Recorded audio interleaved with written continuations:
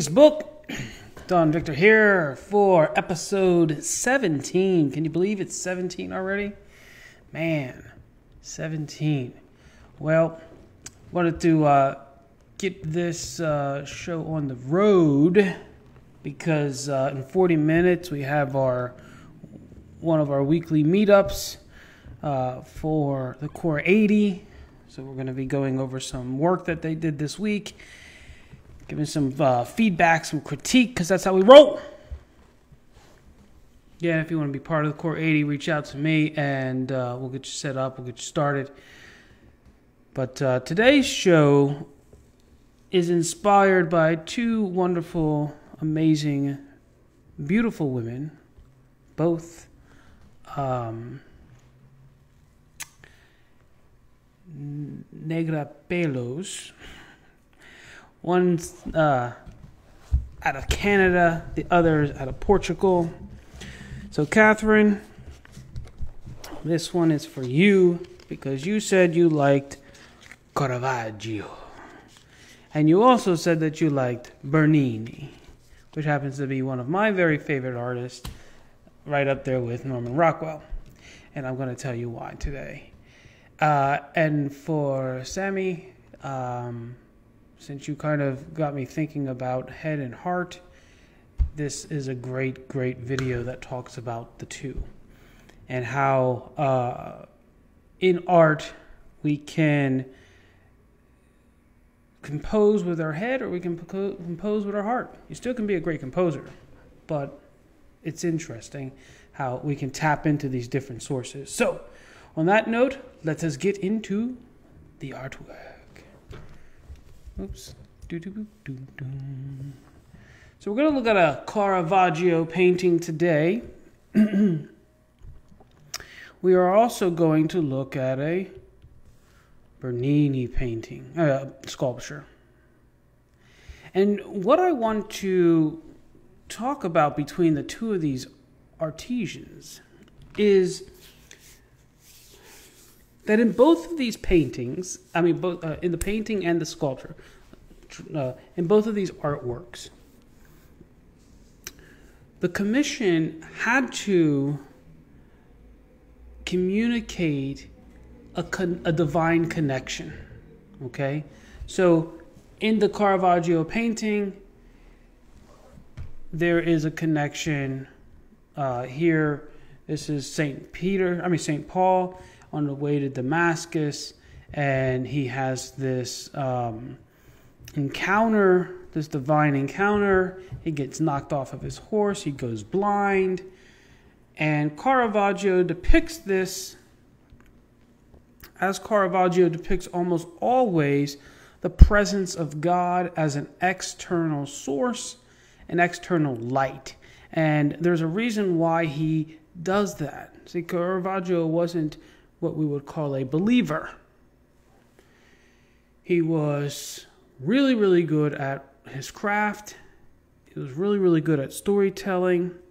But when it came to depicting um, the engagement or the interaction with God, he would often use the presence of light shining onto a subject to represent the presence of the divine. Okay?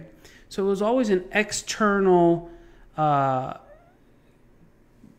experience, you know, or stimulus that came from the outside in or on top of of the person. Bernini, on the other hand, when he creates a divine experience, like in this sculpture uh, the ecstasy of Saint Teresa. His experience, um, the way he communicates the experience with the divine, is not from an external source, but from an internal awakening. So, a lot of times in his sculptures, the women look like they're having an orgasm because it is this experience, this ecstasy of connecting with the divine, but it's it's uh, an expression from the inside out. And so let's take a look at the sculpture here. As our eye flows up, look at the, the way that the cloth looks. For many years, I always thought this was the moment between, right before Cupid pl- plucks her uh, in the in the heart with the um, with the arrow. But I don't think it is anymore. I think it is when he actually he finished plucking her and he pulled it out. And the reason why is if you look at the major thrust of this image, it is bringing us on a Baroque angle. Okay, um, he's the dominant vertical, Cupid, drawing us down to the bottom of where her feet is. The eye travels up on this Baroque up towards her head, but then as it gets close to her head, it quickly turns and is pulled out, like where her heart is. It pulls us out into Cupid, up through his arm, his uh, little wing. Look at the, the clothes of Cupid, like the outfit that, that he's wearing. Okay, same thing. It brings us up towards the face, her face, and then it, it quickly turns and raptures us out of it. Okay, and the fact that it's all of these lines are pulling us out, pulling us from Teresa to into the divine. The arrow, I believe, has actually been pulled out.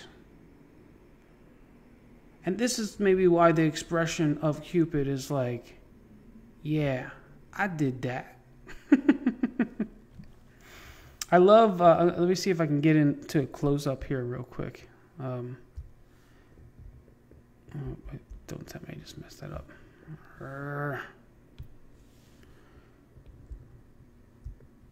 Okay, let's see here. See if I can get a close up here. Look at the delicateness of Cupid's hands. He's not aggressive.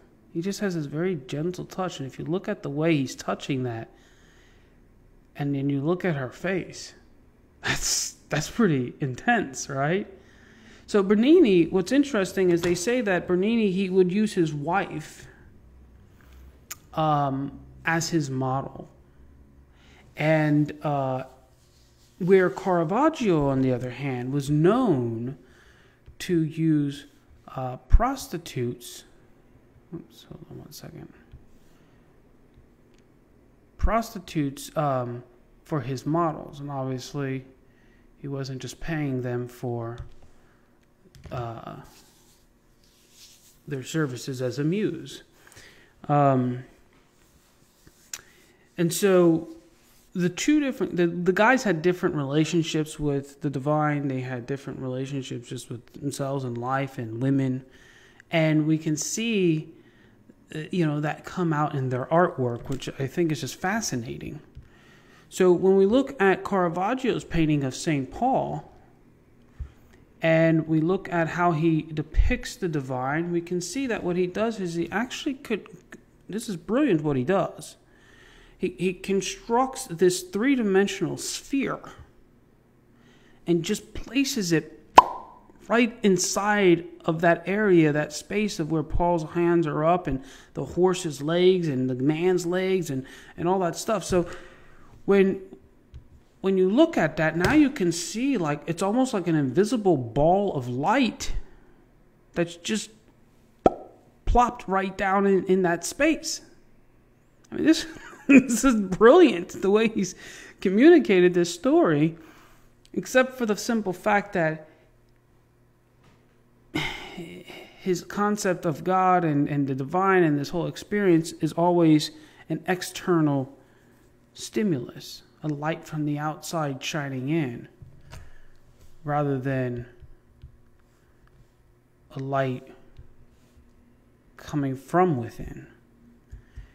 And it's interesting because when it comes to religion or spirituality, love, art, so much of it, we can approach it from a head head perspective, which limits it because all, all we're then doing is experiencing it from taste, sight, what we hear, you know, sound, touch, smell. We're just we're just experiencing it on that Newtonian level. We're only we're only creating on that Newtonian level, meaning the the level uh, where where everything is just basically based on physics, what you can physically hear and physically see and physically touch. And so therefore in Caravaggio's approach, he's he's approaching it from that from that perspective where it's like, you know, we need to be touched by this light. Where Bernini is using it, coming to it from a very different perspective, he's using more of a quantum approach, which breaks, uh, which goes beyond just sight, sound, and, and, and touch, and smell, and, and taste. It goes beyond that. And it gets much more into like a transportation. I mean, you're, you're transported somewhere. And then the experience is happening within you, and then it comes out of you. And, uh, and that's much more of a, a living by the heart versus living by the by the mind, where the mind, uh, not so the mind, but the head, let's say, the, the head will often look for the constraints in things. It will often look for the uh, the fear in things, uh, the concerns in things. Um, it's much more pessimistic, uh, mystic, um, where the heart tends to be far more optimistic. It's much more freeing. It's much more full of love and expanding.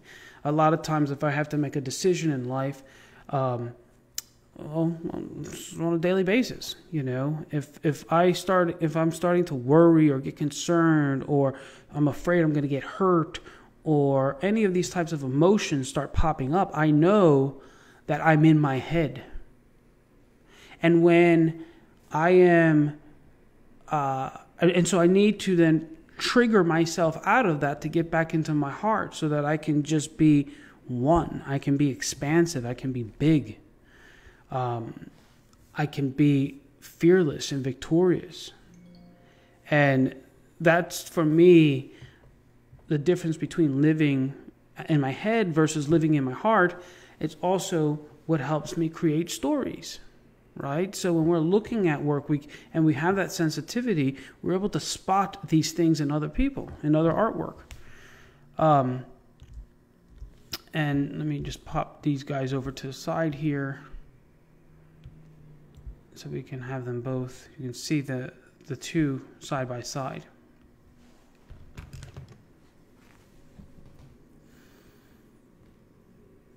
Just, just, I mean, they're both beautiful pieces. Now, the Bernini sculpture on the on the one hand, I am not convinced that Bernini actually created the rays of light that are coming down onto her. I, I'm almost convinced that that was something probably added after after the fact, and it wasn't he who added it. I do not know that for a fact. If somebody does know that if there was a difference in the time in which the sculpture was put there and the radiating light from above, because that's a that's much more of a Caravaggio type of thinking that there's this external light, this light from above, you know, coming out of the sky Bernini was heavens within. You're having that experience, and it's going to come out of you, not come on you. And um, and so I'm not purely convinced. It, it just doesn't feel right in terms of as a designer uh, those vertical, all those diagonals coming from above down onto it. Just and then you look at the piece and the design of the sculpture, it kind of clashes. It really just does. It doesn't work properly.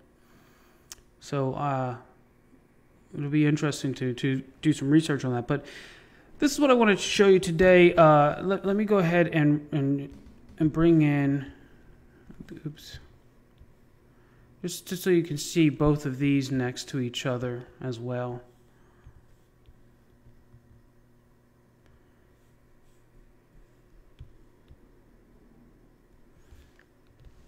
because I want you guys to begin to understand how design works. You can see there's two totally different approaches to the design. Again, if you're in the mind, what happens is you feel constricted, you feel weight, you feel uh, boxed in, closed in. Interestingly enough, this is the approach that Caravaggio uses. He draws this fear, and it's it's just this heavy weight on you.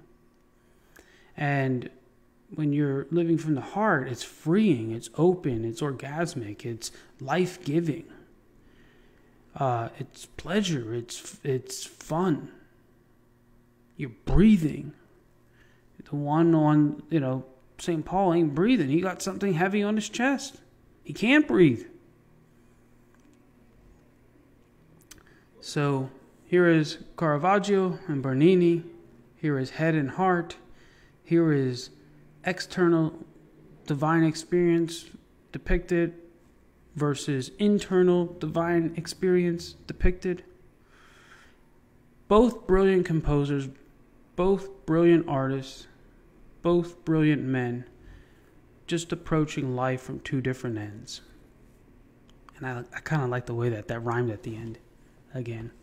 Oh, shoot, I did it again. What? Again. Stop it. All right, guys, that is episode 17. Do share it. You know what you're supposed to do. Share it. I'm providing this information for free every day for 100 days. Apologize that my hair isn't as wonderful as it normally is. But in 100 days, you're going to see my hair wonderful, and sometimes you're not. So it is what it is. Um, but uh, share this video with your art friends. If you know art collectors, investors, share it with them too because they're the ones paying for art, right? And this information is going to open up their the vaults that are hanging on their walls that they may not even know the richness that they have. Sometimes this information will reveal that they made some really bad decisions too, and they wasted a lot of money. So, my goal uh, in doing all of this is not only to cultivate brilliant, profound artists, but it's also to cultivate and educate collectors and investors and buyers of art so they, they know what they're buying. And when they can uh, get this language, just like the authors and the buyers, that meaning the meaning the artists and, and the buyers, um, and the public who reads it, when you can make work at this level, when you can understand work at this level, when you can read it, and then you go and you look at work, you know, uh, you go to a museum and you begin to analyze it and experience it from a whole nother perspective. You get very intimate with those artists who created those things. And then when you go back to your studio, you can create in that same idiom, in that same vibration, in that same understanding. And you will feel co- connected to these artists like you've never felt before. I don't care how many books you've read. I don't really care how many museums you went to or how much artwork you saw. I can take an illiterate man and put him in the biggest library, or I can take one man who can read and put him in front of one book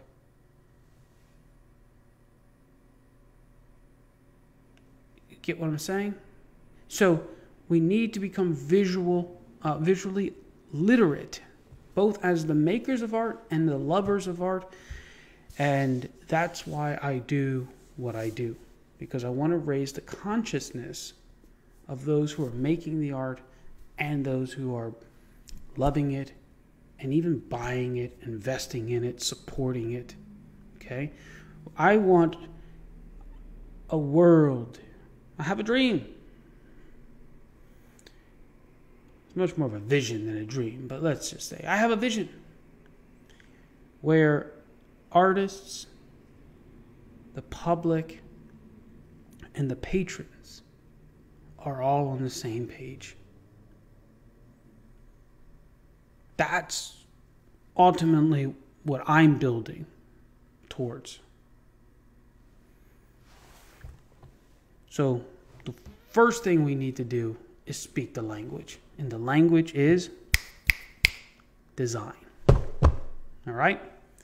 On that note, I will see you guys tomorrow. And Core 80, get your butts ready. I'm going to see you in 20 minutes. We have our uh, Sunday meetup. And um, get ready for a great time. Arrivederci. Ciao.